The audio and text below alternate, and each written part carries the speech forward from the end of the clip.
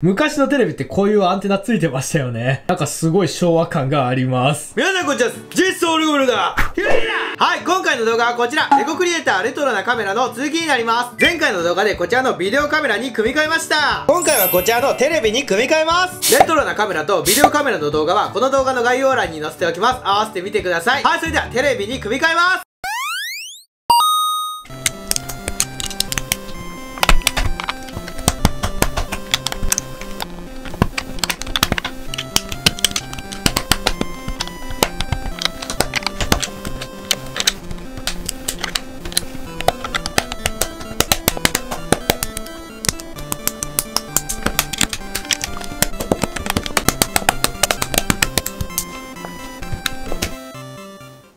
テレビです、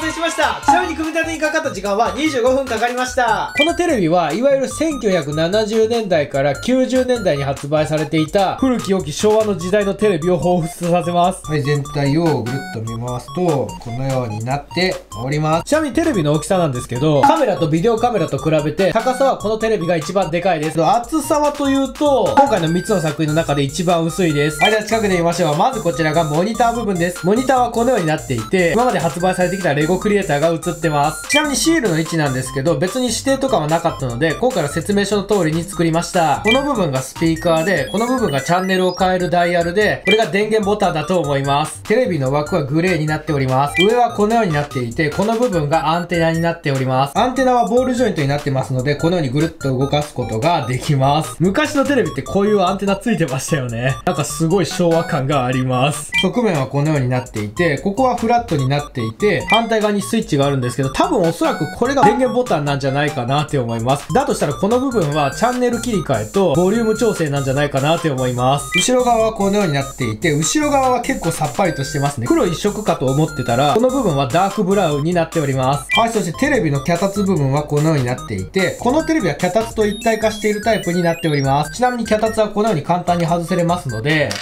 こんな感じでドンって置くこともできます。ちなみにこのテレビのギミックなんですけど、先ほど紹介したこのアンテナが動くだけです。まあ、レゴクリエイターの3番目の作品って結構割とギミックとかがないので、まあこれはしょうがないかなって思います。まあどうせだったらこのダイヤルが回転するギミックとかはちょっとつけてほしかったなって思います。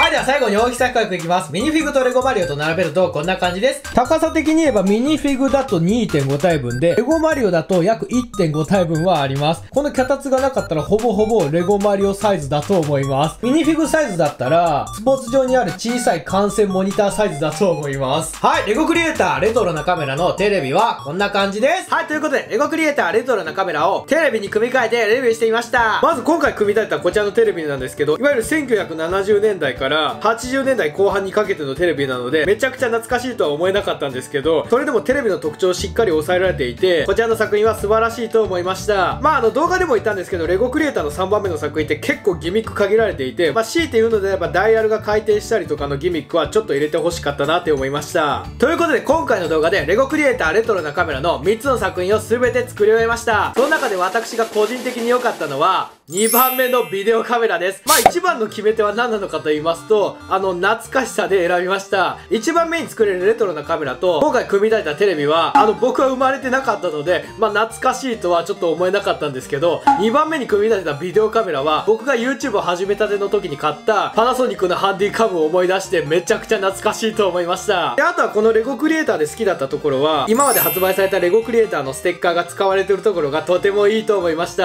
まあ個人的に言うのであれば、ステッカーじゃなくてプリントパーツにしたらもっと良かったんじゃないかなって思いました。最近のレゴクリエイターは生き物や建物や乗り物ばっかり作ってきたんですけど、こういった感じのデジモノ系は久しぶりに作ったので、作品を作ってめちゃくちゃ楽しかったです。はい、以上、ひろげでした。ありがとうございました